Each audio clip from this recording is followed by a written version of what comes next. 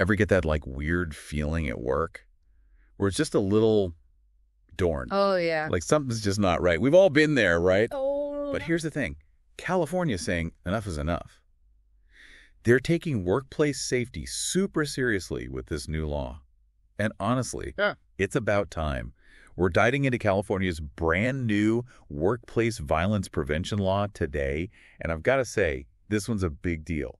So if you're in California, or frankly, anywhere really, listen up.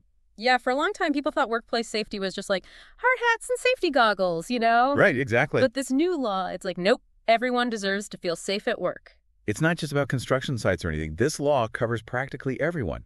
Your favorite barista, teachers, folks working in an office, everyone. Exactly. Everyone deserves to feel safe at work, and that's what this new California law is all about. And what's really cool is that it's like it's not just about reacting to situations after they've happened. It's about creating a culture of safety from day one. Okay, so that sounds great in theory, but what does that actually look like, right? Like, what does that actually mean for the average person just trying to do their job? So imagine you're working at a restaurant, right? And you see a customer getting like really agitated. Maybe they're yelling, making threats, that kind of thing.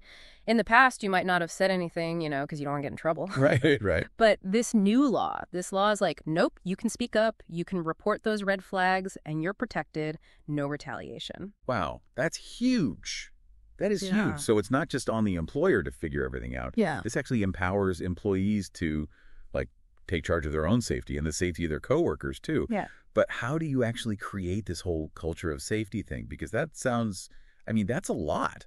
It is a lot, and this is where it gets really interesting.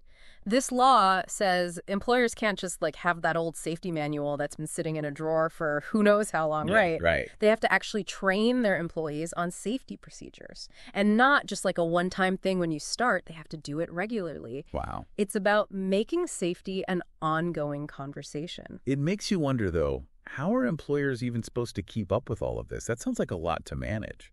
It is, and that's where tools like Simplified Alerts can be a game changer. Okay, so tell me more about this. What is this?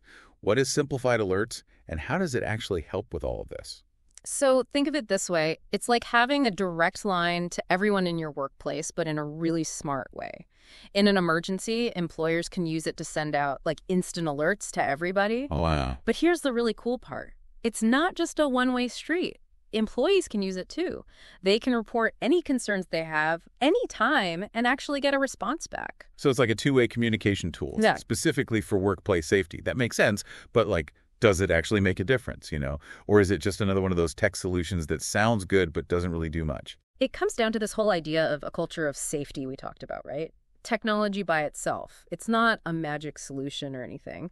But when you combine it with other things, training, open communication, that's where tools like Simplified Alerts can really shine. They can help oh, create that environment where everyone feels safer and more respected. So for someone listening right now thinking, okay, this is a lot of information, what's the one thing they should take away from all of this? Like, what should they actually do? I'd say start paying attention. Think about your own workplace. Do you feel really safe there? Does your employer make you feel like you can speak up about safety concerns? That's a good point. And if the answer is no, this new law gives you the power to say something. You have a right to feel safe at work, and you can advocate for yourself and your coworkers to make that happen. You know, it's a good reminder that we all deserve to feel safe at work. It's not just about avoiding bad situations, it's about being in a workplace where everyone feels respected and heard. Something to think about.